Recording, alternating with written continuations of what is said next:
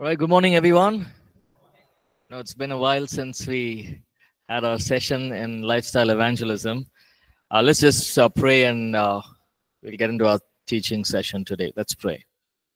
Father, we thank you for this time, Lord, you've given us. Lord, we pray that even as we study and learn from your word, we pray that you will speak and minister to our hearts, O God. We just, uh, Lord, lay our hearts to you. We speak to our hearts and we commit this time into your hands. In Jesus' name we pray. Amen. Okay, so we begin with chapter 7, is that right? Start wherever you want to start from. Chapter 7 or chapter 8? We finished chapter 7. Who said chapter 8? Okay, no worry. Let's get into chapter 7. Okay, so it looks like we'll have to go a little quick, but this session, let's try and look at chapter 7 and chapter 8 and see uh, if we can do as much as we can, right? Okay, chapter 7. Um, chapter 6, we looked at, now let's just go back and see what we did in chapter 6. We looked at invite and pray, uh, pointing based on trust. Remember, we talked about it? How John the Baptist pointed his disciples to Jesus. Andrew pointed Peter to Jesus. So even you and I can point people to Christ. And, and so this chapter, we look at how to connect with people and make an impact in their lives. Do we have to connect with people? When two friends meet together, what do we say? Hey, let's connect next week. Yes? Or we are, uh, let's connect for cell group. Let's, let's connect in the church. Now we're going to pick up from the example of John chapter 4, where Jesus is on his ministry, he's going to a certain place, and on the way, he meets with this Samaritan woman. We know the story? Yes? So, John chapter 4, Jesus is going, he sends his disciples, go bring food, and he meets with the Samaritan woman.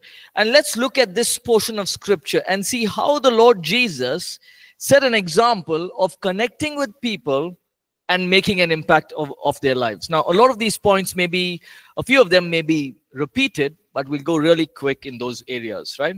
Okay, number one, be open for divine setups. From Jerusalem to Galilee through Samaria is a three days journey. Jesus and his disciples came to this place called Sychar, and in the district of Samaria, Jesus went and sat at Jacob's well. Now, look at these two things now. You think of it naturally, you think of it supernaturally or spiritually. Naturally, it's a three days journey. Jesus is thirsty. What does he need? Water.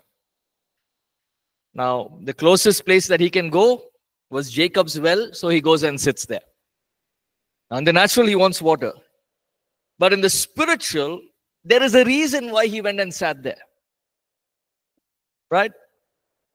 The reason, another reason was he knew, as, as the Son of God, he knew what was going to happen there. He knew who's going to come, he knew everything. But he was ready for a divine setup from God the Father. So, the opportunity came to meet this Samaritan woman, and at the well was a divine setup. setup. It was not pre-planned. Now, Jesus didn't plan it in the sense that, okay, she will come, I will talk like this. No. The woman came to take water. What did Jesus do? He began to connect with her. Jesus could have minded her own, minded his own business and said, Can you please give me some water? She would have said yes. He would have drank the water. He would have gone and sat, you know, I want some quietness. Gone and sat under the tree and waited for the disciples. Could he have done that? Yes. But he chose to connect. Now, let's look at what Jesus himself had to push past certain inhibitions. Now, remember, Jesus was walking in his sonship glory. That means he was a person. He, he, he was tired. He was physically tired, probably mentally tired, right? But what are some of the inhibitions that could have stopped Jesus from talking to this Samaritan woman. Number one, he was tired. How many of you lo- like to talk when you're tired? I, for one, don't like to talk. Sometimes, you know, we do we go for these conferences and all of it. We, you know, there'll be times when the the line is so long, and you've sat, you stood there, you've prayed for more than one hour for everyone, and then you go back to your rooms or your right, uh, and then sometimes people want to talk to you still. Say no, tired. I need to rest. Now, rest is important. But here, Jesus decided, even though I'm tired, I need to step out. I need to connect with this person. Two, he was a Jew and she was a Samaritan. Now, in Eastern culture, this was a big deal. You know why? Okay. Did I give you the history of the Samaritans and the Jews? Did you? Un- no? Okay. See, here's what happened. There were Jews before this, they were getting married to the Samaritans. Now, the Samaritans were people who worshipped a god on a mountain. Right? So they were basically Gentile worshippers. Now, Jews were getting married to these Samaritans, and it was a crossbreed. So, what were they doing, the Samaritans? They will go to the Jewish temple, pray to God, but they will also go to the mountain and pray to the idol. They were doing both. So the Jews were very, very upset and angry with these people. History says that to avoid Samaria, they will go a roundabout route just to avoid getting into that city. It is also said that they, they, they were treated worse than dogs in a way that they didn't even want to smell the breath of those Samaritans. So there was such a communal difference between them. If a Jew and a Samaritan are together, firstly, they won't be together. But if that's the case, the Jew hates the Samaritans because they took this God and they've mixed this God with another God. So there was extreme hatredness. You get the picture now? Right? Now, Jesus is saying here, he's a Jew and this is a Samaritan. So I don't need to talk to her at all. Right? As a, as a Jew, I am more superior than a Samaritan. Three, he was a man and this was a lady. Now, again, in Eastern culture, women would normally go out in the afternoons during those times when not many people are outside because women were considered kind of a lower class they were not given priority in Jewish in Jewish customs in Samaritans and you know normally women were not given priority. It was always the men. Now look at what Jesus did. Firstly, he was tired. Secondly, he's a Jew, she's a Samaritan. Thirdly, it's a Samaritan woman. So, three reasons why not to talk to this Samaritan woman. But Jesus puts aside all those inhibitions and connects with her. Jesus explained what made, motivated him to break past these inhibitions. He lived to do the Father's will and to carry out the Father's work. The will of the Father was that everyone should be saved. So now you've got Jesus, and his, his desire is to speak to her to bring the gospel of Jesus, uh, bring the gospel to her. Two, every person is harvestable and ready to be reached. And think of this. Remember that uh, parable which Jesus spoke of? The Good Samaritan. Imagine Jesus is standing there, he's teaching the people, the disciples, and says, Okay, let me tell you a story. There was a good Samaritan. No, no, no. You started wrong. Samaritans are not good. Samaritans are people who have destroyed the culture of Jews. So they're not good. But when Jesus ministered, he ministered beyond our thinking. He understood that every person is harvestable, meaning I can invest in this person's life because we don't know what he or she can become. And Jesus thought of it that way. This may be a simple Samaritan woman. Nobody knows her, nobody recognizes her, nobody even cares about her. But in Jesus' eyes, she is going to be the person who will bring the gospel to the entire village. He understood that every person is harvestable. Thirdly, we are gathering fruit for eternal life and as we as we will rejoice together in the future our goal is to gather fruit for eternal life. Four sometimes we sow others reap. Sometimes others sows others sow and we reap. It's a very important principle that we must learn in ministry especially. We we sow into people's lives others may reap it. And there are times others will sow and we reap it. Let me give you an example. In church history, there was this one man, his name was Robert Murray M'Cheyne. And he was praying for revival for many years in his church. Many, many years 10 years, 15 years. And after about 20 years of praying, he, he had an injury, so he had to take a break. So when he took a break, he went away from the town uh, from the city that he was living in, and they appointed one young man. His name is W.C. Burns. He was only 26 years old. This 26 year old came and started preaching on Sundays. Now, all of a sudden, a church which was Robert Murray M'Cheyne's church had about 300 people. All of a sudden, people started coming to the church 500, 800, 1,000, 1,500, 2,000, 2,500, 3,000. In a span of about two to three years, the church became 5,000 people. Now, this poor guy, W.C. Burns, he's thinking, What am I doing? Nothing I'm doing, I'm just preaching. He has no idea for why so many people are coming. And the reason was somebody else paid the price, somebody else sowed, and he was reaping the benefits.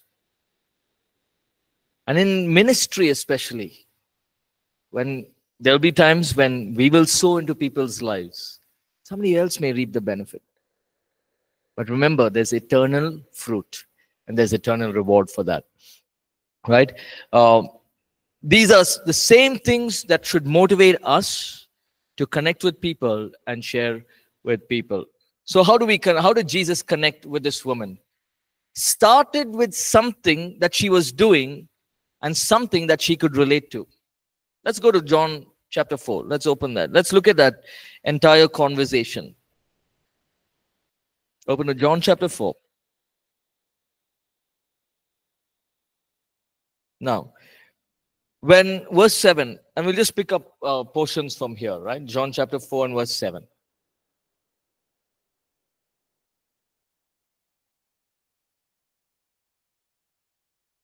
Okay. It says here, when a Samaritan woman came to draw water, Jesus said to her, So who made the first attempt to speak? Jesus said to her, Will you give me a drink? Now, why did the woman come there? To fill water. So Jesus asked something simple, connected with her. Can you give me some water to drink? This is not some big spiritual thing that Jesus said. Jesus then say, didn't say, okay, woman, what's your name? I am the Messiah. I was the one who was sitting with the Father in heaven, and I created the heavens and the earth. I created water. But right now, because of I am in sonship glory, and I am the Son of God, but I'm walking here on earth for a reason. So I'm feeling thirsty. Since I'm feeling thirsty, can you please give me some water? Did Jesus say all that? Simple thing. Can you give me some water? What does it teach us? Speak only what is needed. Sometimes we go into stories and people are not interested in our stories. But we like to. Have you heard of, have you been with people? They'll keep speaking. And I sometimes have told people, I'll pay you to keep quiet. Just keep quiet. Don't talk. not in a harsh way. No, just, of course, there are people that I know of. I, I would tell them, just keep quiet. No, just, just try to not speak. It's a blessing to keep quiet also. There are people who keep talking, continuously talking. There's a time to talk, there's a time not to talk. Right? But look at Jesus. He spoke and he spoke to the point. Can you give me some water to drink? He asked her for water to drink. Then what did Jesus do? Very important. He stirred the conversation from simple daily thing to spiritual things. What did he do? Let's see here. The Samaritan woman said to him, You are a Jew and I am a Samaritan.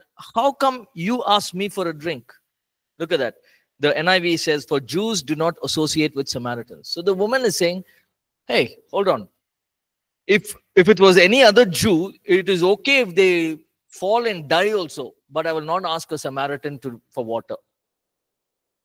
But how is it that you, being a Jew, know that I'm a Samaritan and you're asking me for water? Now, Jesus stirs the conversation to another direction from the natural to the spiritual. Jesus answered and said, If you know, if you knew the gift of God and who it is that asks for you, asks you for a drink, you would have asked him and he would have given you living water. How beautifully Jesus stirred that conversation. Can you give me some water? Now, I always think the other way. What if the woman said, Yeah, sure, come. Do you have any pot? I said, No, I, I don't have a pot. How can you ask me for water without a pot? So uh, then maybe the conversation would have gone, I am, I am the potter, you are the clay. How is that? You're not even a potter. Then maybe Jesus would have used that to bring it into a spiritual aspect. But here she only asked, right? Jesus took the conversation from water and said, if you knew who's asking this, that who's asking for water, he would have given you eternal life or or or, or a water or, or a living water. Now, look at what happens after that. Verse 11, Sir, the woman said, You have nothing to draw with, and the well is deep. Where can you get this living water? Now, you, first of all, you, you have come empty handed. Secondly, you don't have a pot. Thirdly, you need to drink water. You're asking me, and then you're saying you're giving me living water. Where do I get this living water from? So you see the way he's stirring the conversation, right? Engage with people based on things they can relate to, stir the conversation to talk about spiritual things. Now, this is an ability that we will gain as we keep doing this uh, often, right? Some things to be cautious about. Uh, yeah, if you're engaging with a person from uh, of the opposite sex, do not get emotionally involved. Do not cross moral boundaries. Be careful not to interfere with personal life matters and choices. Very important. Now, when you and I are ministering to people, right? don't get involved in their personal matters and this is something that we are you know i've noticed in churches and pastors in different places especially in rural uh, and village settings where the pastors make every decision for the family right? my daughter is 20 years old get her married my son wants to go abroad. No don't go abroad. You give that money to the church god will give a better opportunity. Making decisions for the no. We, we as leaders we must understand that there is a personal life of people and we don't involve in it. There's the personal that's the spiritual. Our our goal in life is to raise up people spiritually. Now in while we're doing that people may come and say you know i have this problem at home we give them counsel, but we don't make decisions for their life. Many years ago, I think it was 2015, where one pastor, one brother from a church, he called me and he said, I'm in big trouble. I said, What happened?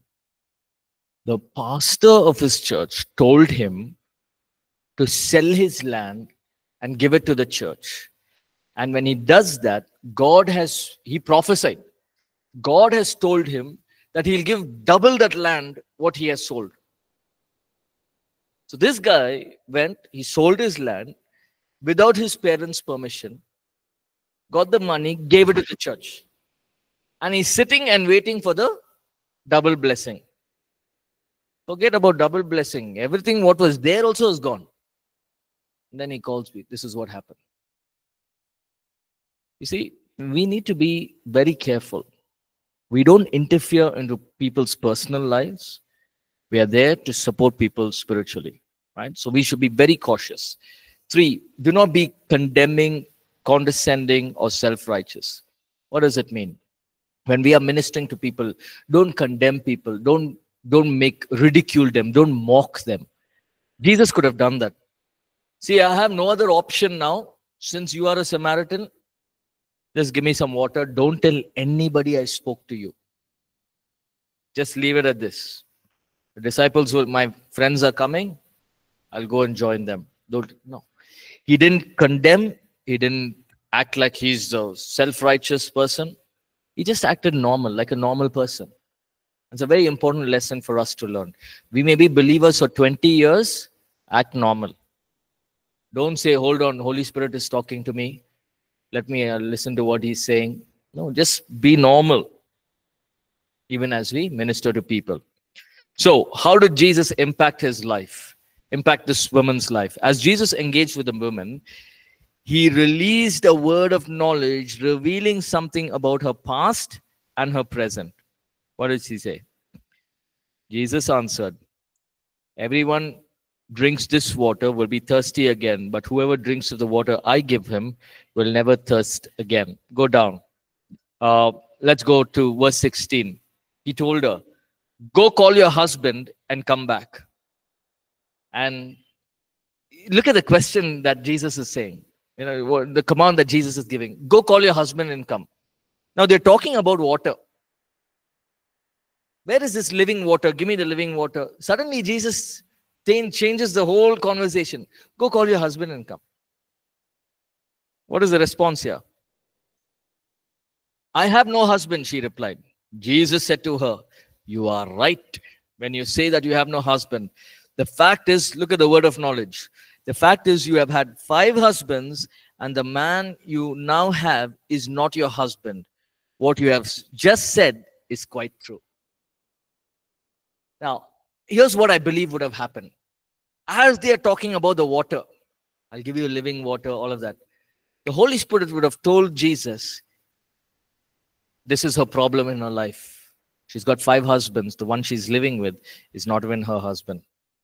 So how did Jesus bring up bring this whole conversation to there? It's a change of topic. Jesus said, Go call your husband. And then he spoke that word of knowledge. Right? This affected her powerfully. And she began to ask him questions about where to worship God and about the Messiah. And she met and believed the Lord that day. Let's read on. What happens? So the woman said, I can see that you are a prophet. Now, the conversation is has been first it was what? Water. Natural thing. It went into a spiritual thing. I'll give you living water. From living water, it went to go call your husband. Natural. Then Jesus in the word through word of knowledge revealed what's in her life supernatural. Now again jesus uh, the woman is bringing back to the natural saying i think you're a prophet. See that you're a prophet. You're able to tell me what's happening in my life and what what all is happening in my life. Then she brings it back to the supernatural or the spiritual. What does he say? She says i can see that you are a prophet our fathers worshipped on this mountain but you Jews claim that the place where we must worship is in Jerusalem. So now the woman is saying, You see this mountain there? As Samaritans, we go on that mountain.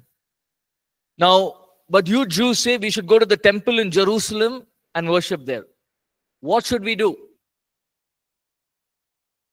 Look at Jesus' response.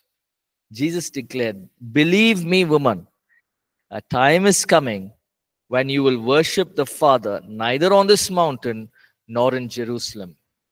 You Samaritans worship what you do not know. We worship what we do know. For salvation has come from the Jews. Right? So, what is Jesus trying to say? See, you are worshiping on the mountain and you don't even know who that God is. We as Jews, we are going to the temple and worship, worshiping the God of heaven and earth. So both of us are going to a certain place and worshiping. But a time is coming and has now come when the true worshippers will worship the Father and the, in spirit and truth, for they are the kind of worshippers the Father seeks. That's so beautifully. You see what Jesus is doing here? He's not bringing, he's not saying as a Jew he's greater or the God that he's worshiping is greater. He's just saying, see, you people are worshiping on the mountain, we go worship in the temple. But whatever it is, the time is coming when we will worship the Father in spirit and in truth. It's not about a place, it's not about the mountain, it's not about the temple. God is spirit. Those who worship him will worship him in spirit and in truth. And as believers, all of us can be used by God to release the supernatural, the gifts of the Spirit, healing, and miracles. Now, what happened after all of this? Let's go down. The woman said, I know that you are the Messiah. Did Jesus say it? Did Jesus say, I'm the Messiah? She understood it. The Holy Spirit brought revelation into her heart and made her self acknowledge this man is the Messiah. Jesus didn't say it. He was just talking spiritual aspects, but she understood it. The woman said, I know that I know that Messiah is coming. When he comes, he will explain everything to me. Jesus said, I am I I who speak to you am he. As the Messiah, he was able to penetrate as, as a son of God through the Holy Spirit. He was able to penetrate into this person's lives. What is the ripple effect we see here? One woman was powerfully impacted by Jesus, was instrumental in bringing that whole village to Christ. She goes about and tells everyone, Come and see who I met. The Messiah knew everything about my life there was a ripple effect. We never know how one life we connect and impact can affect others who will be brought to faith. So, when we connect with people, we're also to impact their lives. Now, not always is it going to be easy, right?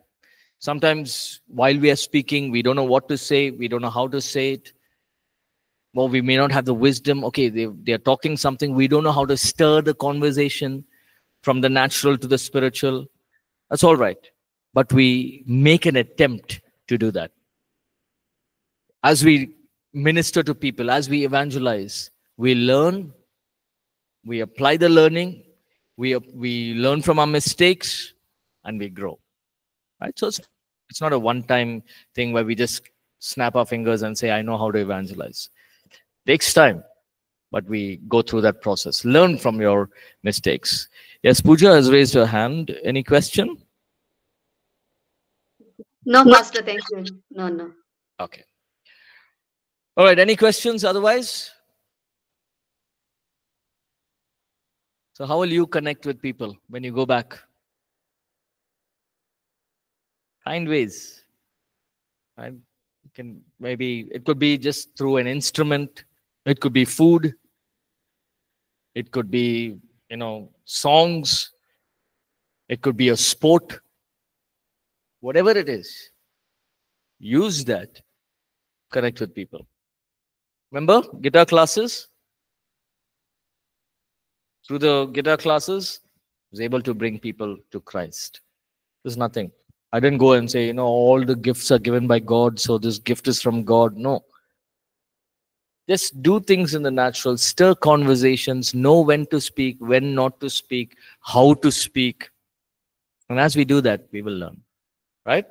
So let's get into chapter 8. Quickly, we'll try and finish this chapter as well. Now, chapter 8 is a very, very interesting chapter.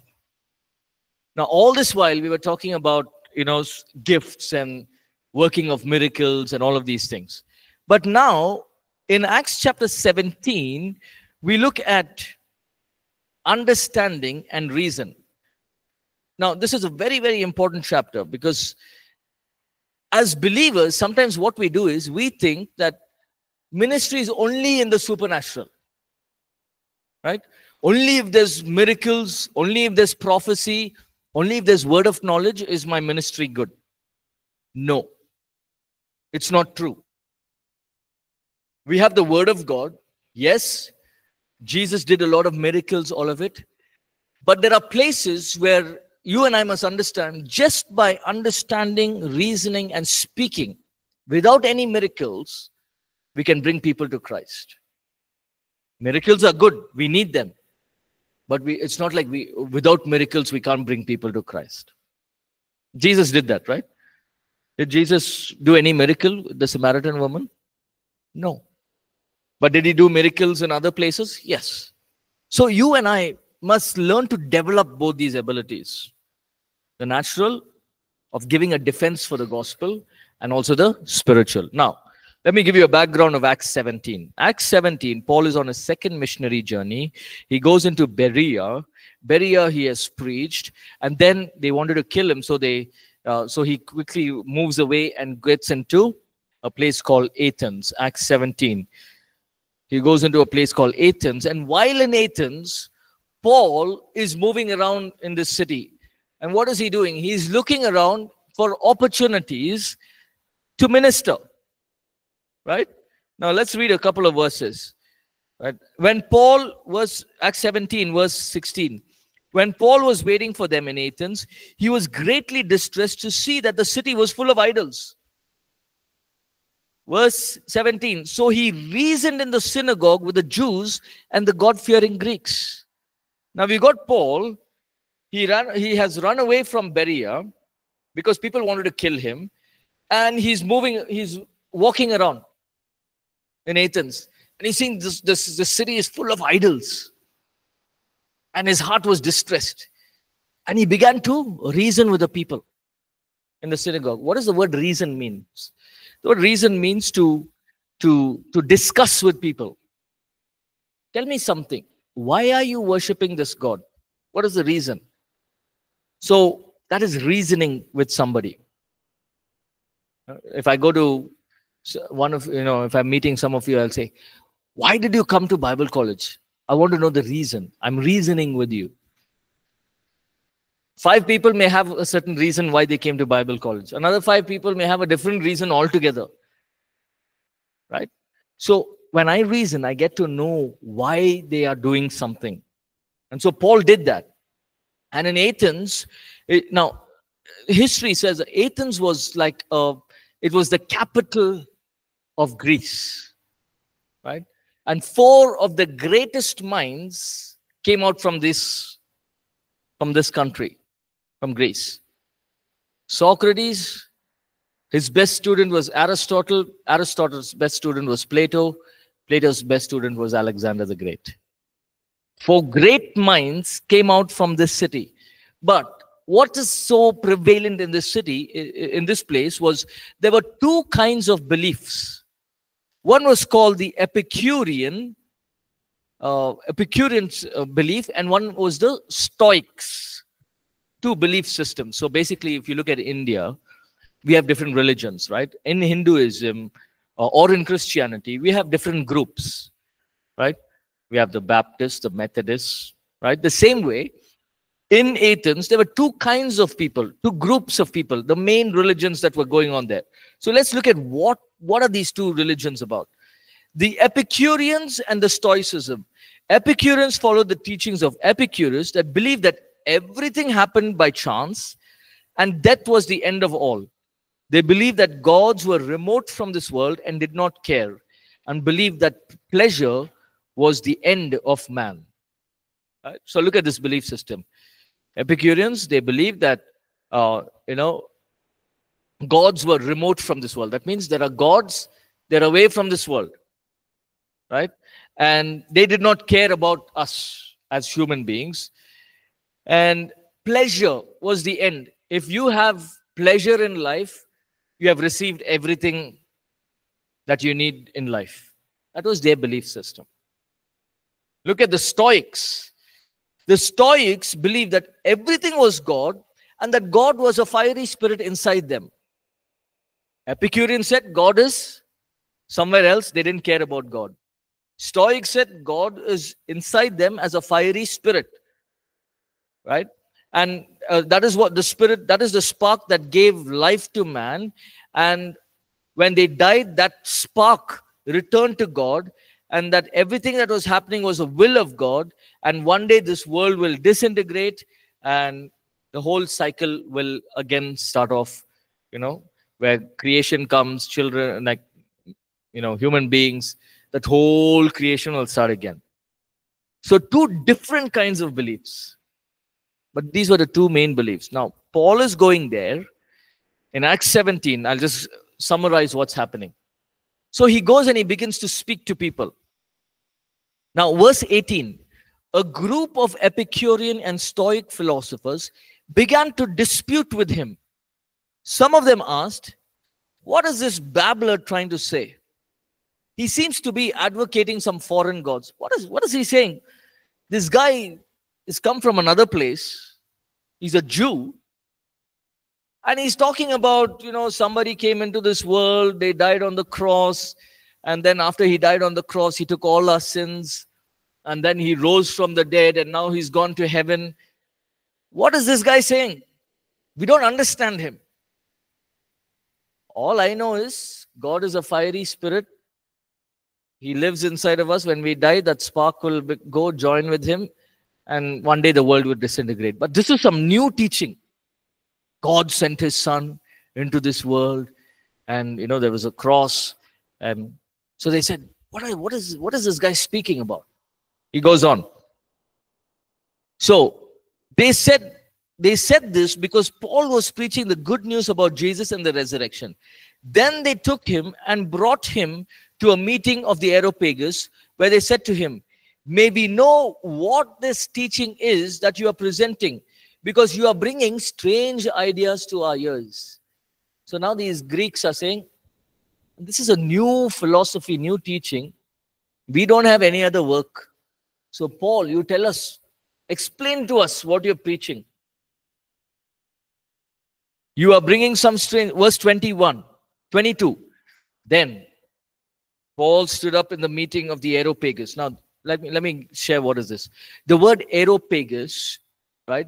It's it's a you know when two people it's like a court case right it's, it's like a place of court and here if two people have a problem with each other what happens is they would have their meetings over there right uh, so it was a place where uh, law any problems everything was resolved in this place. It's like the center of the marketplace. So they said to paul you come and speak there. Okay? So now paul then stood up in the meeting in areopagus and said men of athens i see that in every way you are very religious. What is the first thing paul is doing? He's bringing out the fact that they are very religious. He's he's encouraging exhorting them. You know religious people very good right?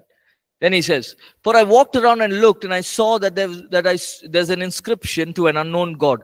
Now what you worship as unknown let me bring you let me proclaim to you what is that unknown god. You see what paul is doing here?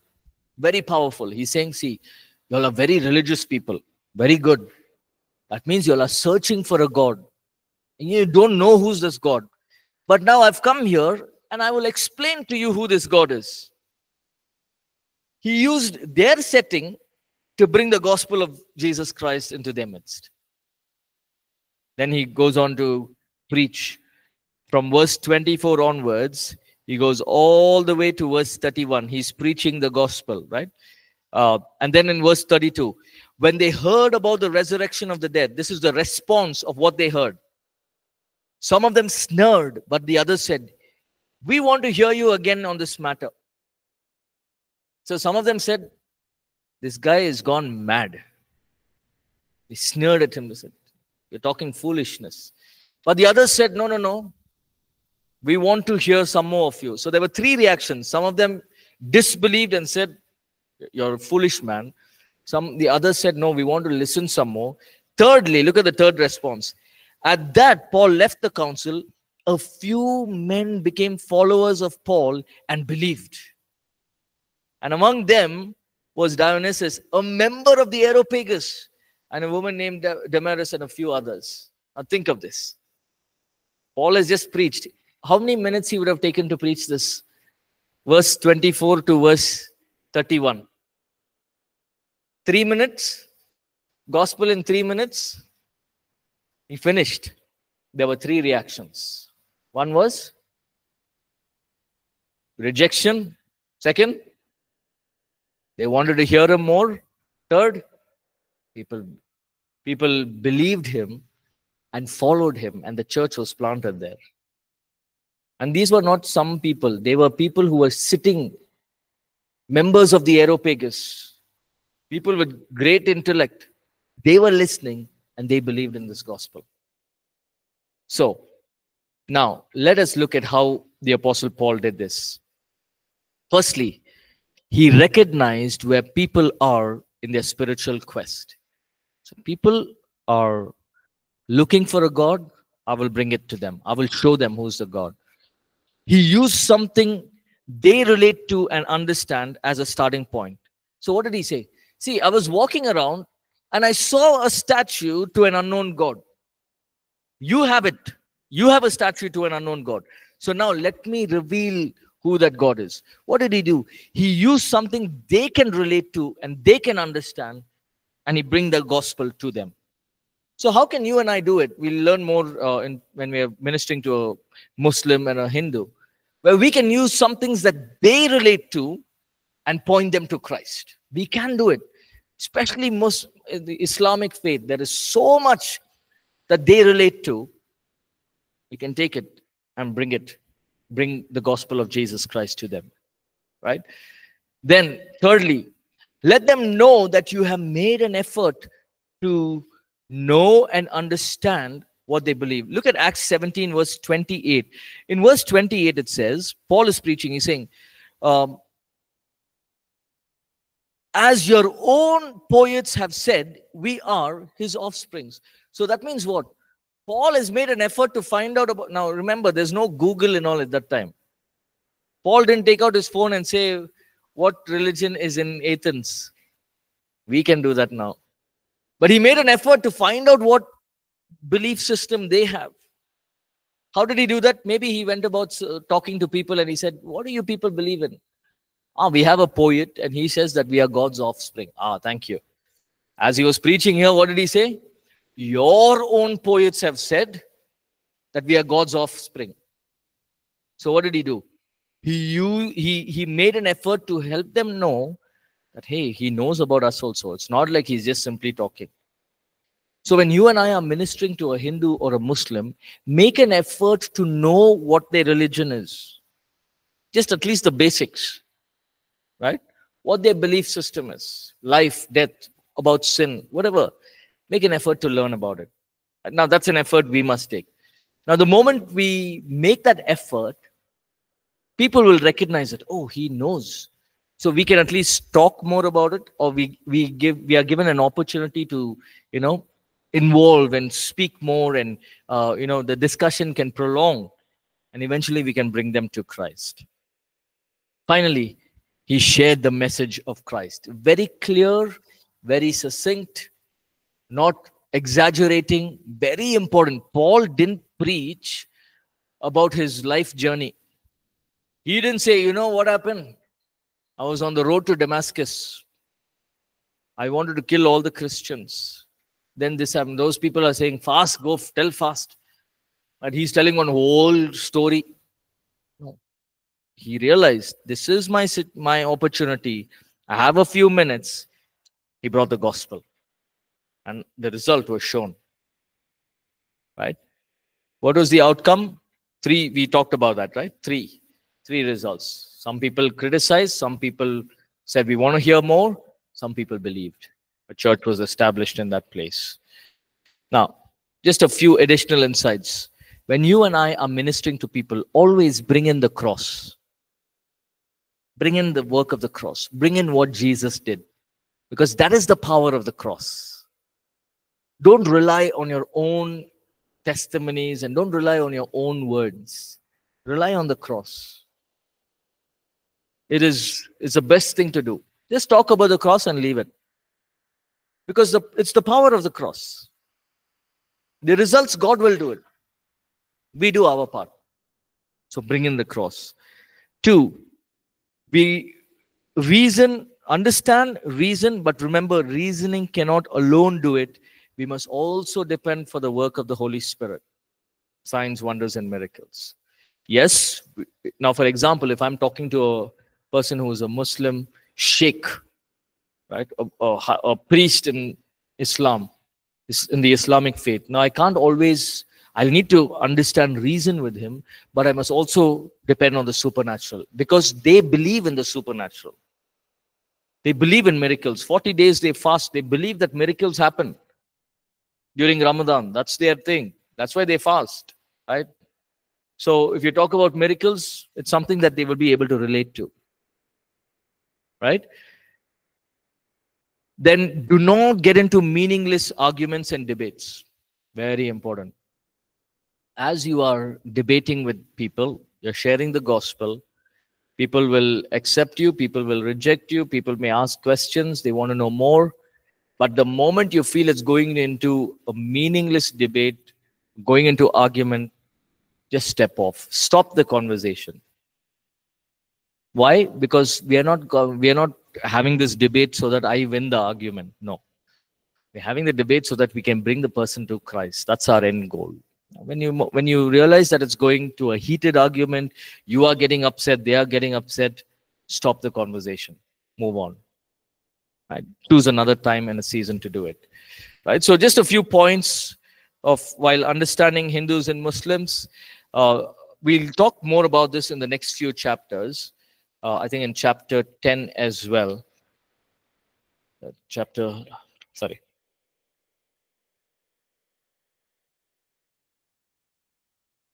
Yeah chapter 14 sharing with a hindu and a muslim. So we'll leave that out for now we have chapter 14 and 15 we talk about uh, points to emphasize when we are ministering to a hindu and a muslim. Right? So we'll stop here.